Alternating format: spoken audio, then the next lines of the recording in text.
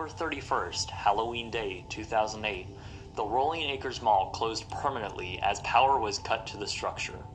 This left the interior of the mall completely abandoned. In May of 2009,